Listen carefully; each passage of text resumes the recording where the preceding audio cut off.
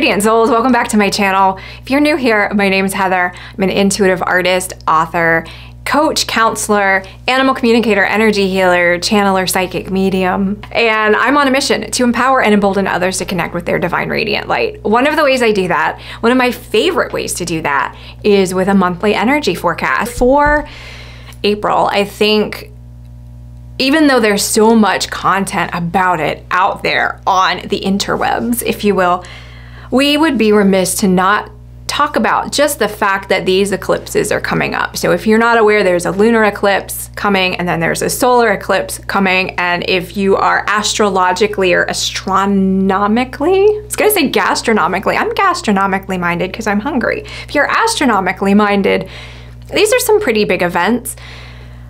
I don't put a lot of weight in that. I do think they have some significance. And when we're looking at the energies that they're kind of churning up, that's how I look at it. It's like somebody takes a stick to a pond and just starts churning stuff up. So they are churning up um, what is connected to the houses that they're coming in on. So for the lunar eclipse, it is Libra energy, and for the solar eclipse, it's Aries energy. So that's to boil it down, and for those who do astrology, give me some grace. It's not my strongest thing, but that is relationships and kind of like I want to say hot-headed authority, but, but your sense of self and feeling empowered and taking steps and taking charge for yourself. So the way I look at it and the way I'm kind of framing it when I have conversations about both eclipses and the eclipse portal, if you will, which is kind of a scary word when you use that, but it's this period of time. And eclipses, we, we can kind of feel their energy up to a year on either side. They just become more potent right now as we are approaching those events. But in short, and this is not even the monthly forecast, but it, it informs part of it. So I wanted to bring it up for that reason. Looking at the energy of where are you selling yourself out? And I watched a talk the other day and somebody bottom lined it even more than that and it caught my attention, so I'm gonna share it here. Where are you prostituting yourself? Where are you inverting, distorting yourself for someone's approval, for someone's connection, for someone's attention, for your own attention? Like, where are you folding in over yourself or crumpling yourself up like a ball of paper because you are not presenting your authentic self. And for those who have been here for a while, you know, authentic self, like when I say your divine radiant light, that to me is what that is. That's your authenticity. That's you as a soul. So, where are you not taking you in all your glorious light and your foibles and your humanness? Because we all have that. And where are you not presenting all of that? Looking at those situations, seeing if, you know, the old, how's that working out for you kind of thing is it working for you? Because this is the period of time at the individual level and the collective level where the ways in which we transacted our relationships with self, with others, with institutions, not working anymore because we have not shown up in a lot of those spaces fully as our sovereign selves. So if you see the energy of that coming up for you, it's a time to I would say it's a time to drag it out, but it's more like it's a time that it is being dragged out um, for you to look at and review. And all that means is that's your opportunity to change, to step more fully into your truth. So I kind of picture it as if you look at like a stage where maybe there's going to be a play on this stage, but you're backstage. So you're about to go out on the stage and as you walk out, you're kind of still in the darkness until you hit that spotlight. So the audience can't really see you. They kind of see that you're coming, but until you hit that light that is fully truly you, no one really sees who you are and sometimes we like we like to stay all the way backstage we like to leave the theater entirely or we like to just kind of sit on the edge of that spotlight. And I don't mean spotlight is like you have to be out, you have to get a, you know, YouTube channel, you have to broadcast yourself. I just mean standing as you in all of the situations in your life.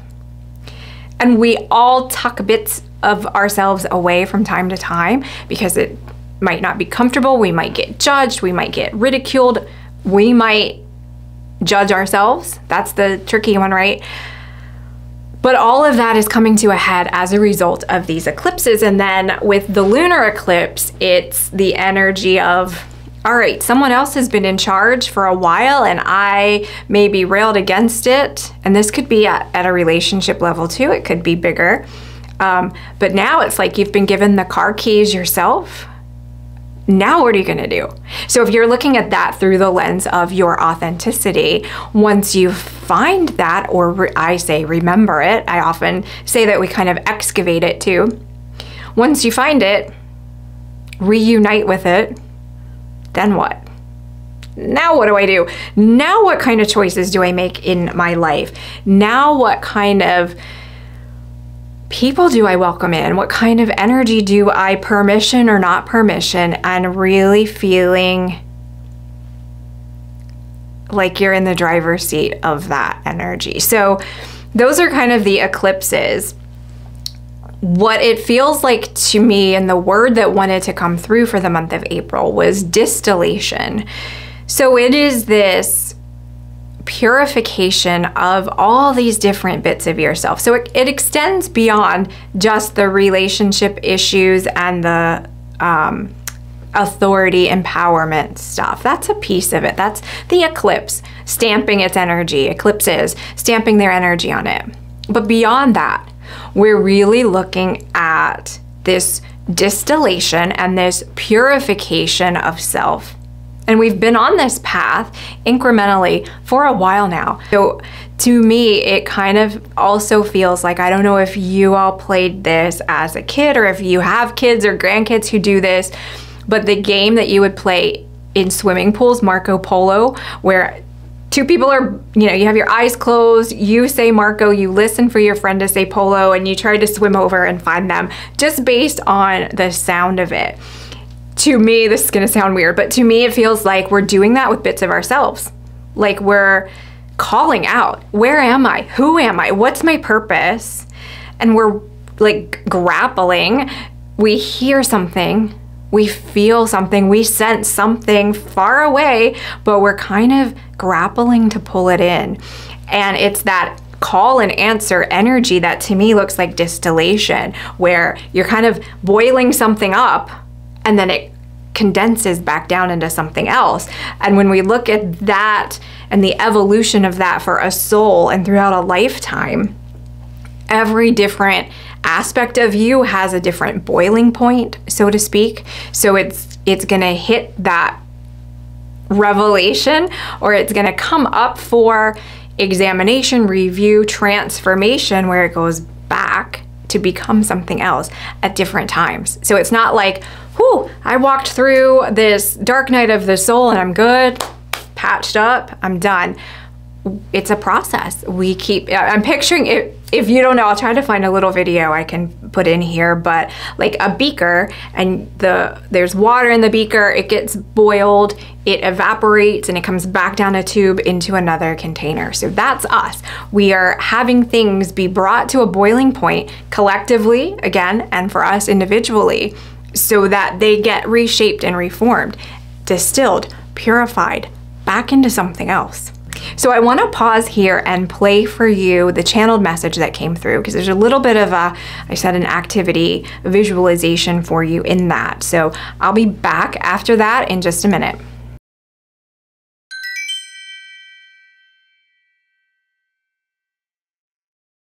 Hello, bright and beautiful beings. We would ask you to consider that for the energy coming toward you, around you, through you in the next few weeks, to consider transformation. For this is a time of potential significant growth for you.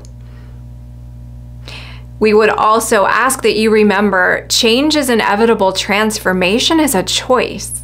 And it will be up to you how much transformation you seek for yourselves. If you were to envision it as walking up to a buffet, you can have a small portion, a medium portion, a large portion, or you may choose to walk away entirely. It is all up to you, and there is no choice that is incorrect for your soul's path. They are only options. We would also remind you at this time, something we've spoken of in the past, is the idea of keeping your eyes on your own paper. As you look around you, you may see loved ones, friends, colleagues, those you watch taking significant steps, significant changes, fundamentally altering who they are in the world do not take that as an urge for you to change, to grow, or adapt if you do not organically feel called to do so. You will all, in some way, shape, or form, receive the nudge, the prompt to change, but it will not be external.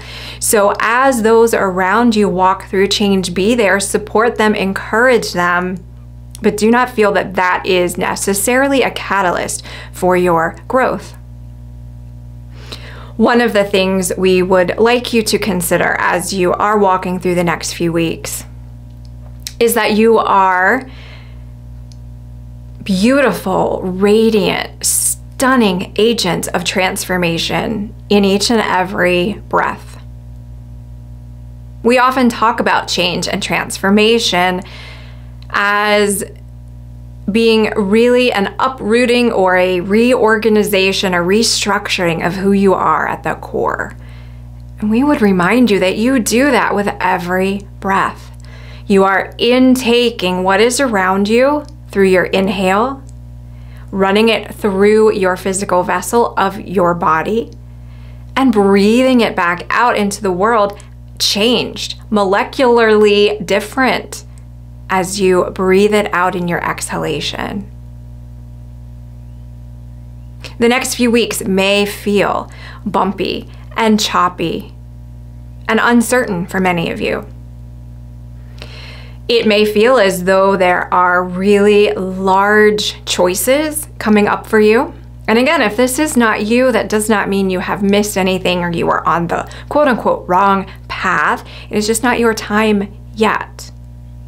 But if you are facing some of those big doorways, those fundamental changes and shifts for yourself, we would like to give you an exercise through which you can anchor in your truth, for it is only from the perspective that is uniquely yours that you make aligned decisions and, more importantly, take aligned action action is the physical expression of choice in your world. It is one thing to think a thought, to make a decision in your logical mind, and even in the space of your heartfelt emotions, but acting upon it brings it forth. So, for those things that you feel and think you need to do or should do or are being moved to consider, Ask yourself what action backed that up. What in what way would you be in the world if you already had that belief, that thought, that feeling? And see if that feels like an aligned action for you. But the activity we would leave you with for this month of distillation is one of considering your breath. Many of you have beautiful breathing techniques. Many of you feel connected to your breath in very deep and profound ways, but many of you do not consider your breath as you move throughout your day, and that is fine. It is still there for you. It is still alchemizing all around you. It is still supporting you and giving you precious life. If you are in a space where it is convenient to do so, please follow along with us. If not, you can revisit this and use this technique at any time that you feel spun around, that you feel disconnected, that you feel untethered from that which feels comfortable. If you would plant your feet firmly on the ground, in whatever way that looks for you, if you're standing, if you're sitting, even if you are just envisioning that for yourself, in a way that you are making your physical structure square and solid. Each of you will have a different way to do that. For many, it is putting your feet on the ground while you are in a sitting position. Imagine dropping a beautiful silver cord down from your spine into the earth. And as it twists and turns and tunnels down, it also sprouts beautiful branches and leaves that glisten. Some of you may hear a chime associated with this, for there are frequencies that can connect into music here as well. And that is your personal sacred grounding into where you are now. On your planet, certainly, in your physical geography, yes, but more importantly, in your soul alignment. We really want you to come into this space that is uniquely yours. So, the first step is to build that beautiful root system, if you will, connecting that down to Mother Earth. And that allows you to be grounded and sustained by the energies that are available to support you. And then imagine a warm silver oil being poured down the space around you. And it is not a smothering liquid. It is very effervescent. It has life force energy within it. It also glistens and makes music for those who can hear with their senses that are beyond the physical. Allow this to slowly trickle from the top of your head, where you may know your crown chakra to be, and it covers all the way down your physical body, slowly, gently moving. And allow this to be a beautiful sheen of protection for you. And from this glistening silver substance, you draw forth breath. It acts almost as a second skin through which you can breathe. So you breathe not only from the mechanism of your lungs and your pulmonary system, but you also breathe from this expanded, beautiful, shimmery, warm liquid. And as you do, that which needs to meet your path at this time comes through a filter of truth, comes through a filter of warmth, comes through a filter of authenticity so that it is purified as it reaches you, so that when you are using this breath, this energy, this imagining an expansion and a contraction, and the power that is engendered by those energies. Allow that to sync up into the rhythm of your pulmonary breath. And imagine that you are breathing in and out, in and out, so that you are fully expanded in that moment. And for some of you, this may bring you into such a frequency of truth that you feel a physical sensation. So if you feel tears, if you feel chills, if you feel a reverberation, know that you are in your home frequency. And as you practice this, you may sit in this space for a moment, for two moments, for five minutes, for 10 minutes, whatever you feel for any particular period of time refreshes and nourishes you. And when you feel you are ready to step out of that space, you can imagine an evaporation of the silver liquid almost as if it is being drawn back and drawn away from you. It is always there for you to call upon it as you need. But allow it to be absorbed, pulled back. And then you can imagine that beautiful cord or root from your spine coming back up from the earth. Again, always available for you if you need it. But you pull all that nourished and replenished, cleansed energy back into your physical biology. Give thanks and have gratitude for that moment. And then you may proceed with whatever it is that you are facing for your day. And we feel that in this exercise, there is empowerment, there is reconnection, and there is truth. And we hope that you find it helpful. Be blessed, dear ones. Know that you are absolutely amazing, beautiful, radiant, powerful creators in this world. And we honor you at this time and thank you for co creating this moment with us. Be blessed. So as we're looking at that energy of transformation, one of the um, the aspects of the monthly forecast that sometimes I include, not always, but definitely wanted to bring to your attention this month was the energy of um, an animal totem and a crystal. So these are just ways to expand on the theme to get us more of the information. And sometimes, if we hear things through example or metaphor, it settles in with us better. But also, the consciousness of this particular animal totem and the consciousness of this particular crystal are willing to assist us through this. So, some of you may laugh at the uh, the animal totem, and it's coming up in the world in a larger way, and I'll talk about that in a minute, but it's the energy of the cicada.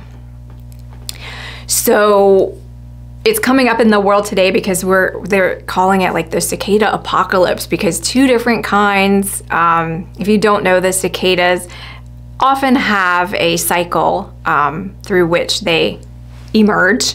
And that can be 13 years 17 years. Some do annually but the 13 and the 17 are both hitting this year and that hasn't happened in over 200 years. So if you're in an area of the country or planet where you don't experience cicadas that may not mean anything to you but they are very very large very very loud bugs.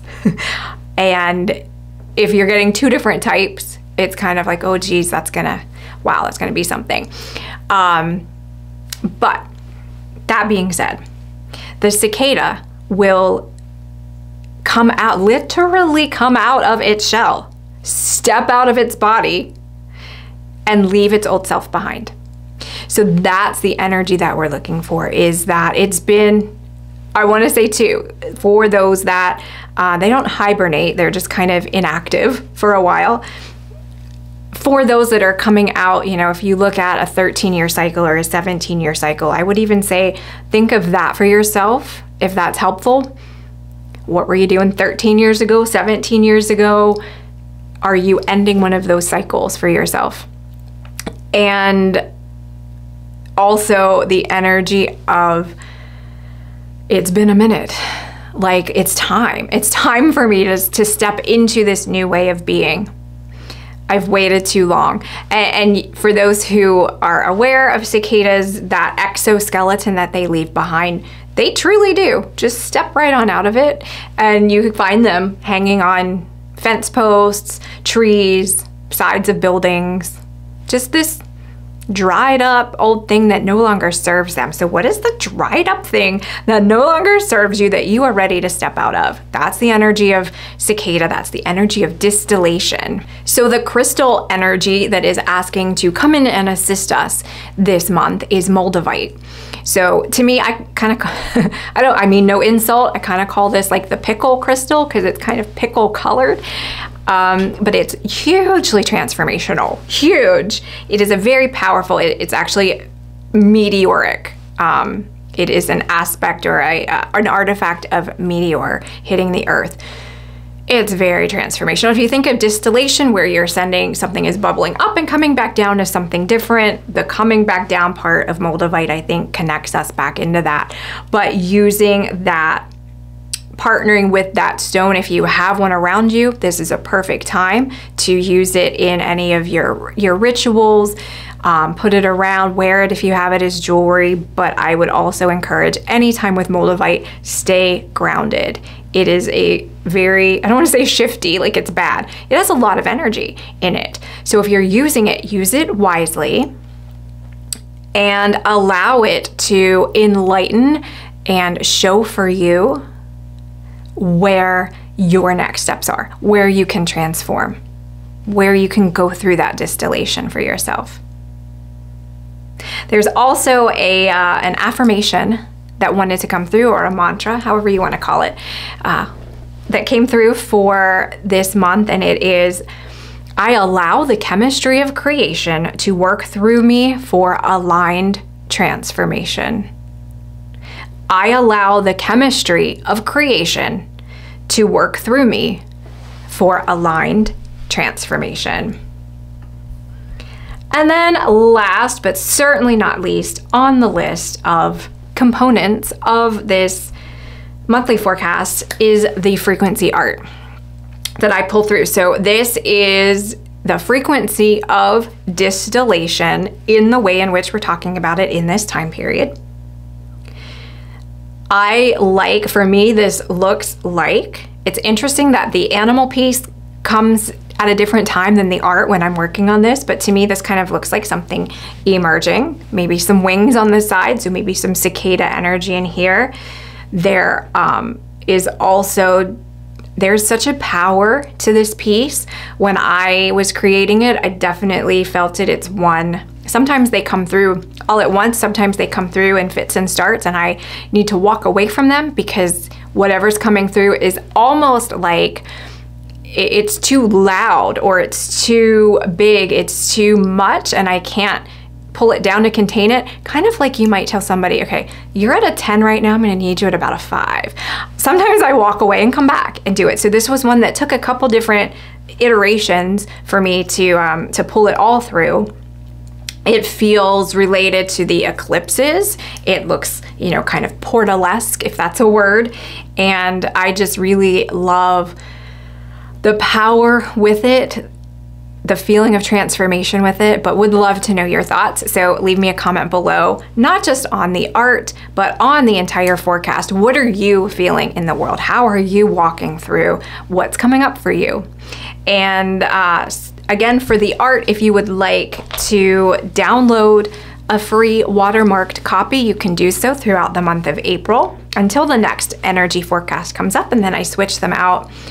I also love being able to offer uh, prints of this because sometimes having it in your physical space can allow you to disconnect from technology. So a lot of times people will put them on their phone or uh, like as a screensaver and connect in with it. That way they can be good journal prompts for you. They can just help you calibrate to your own distillation. But if you would like to have one to print and put up and kind of look at in your space, I offer that as well. So I think that's it. I was checking in. The team is good. I'm good. I hope you're good as well.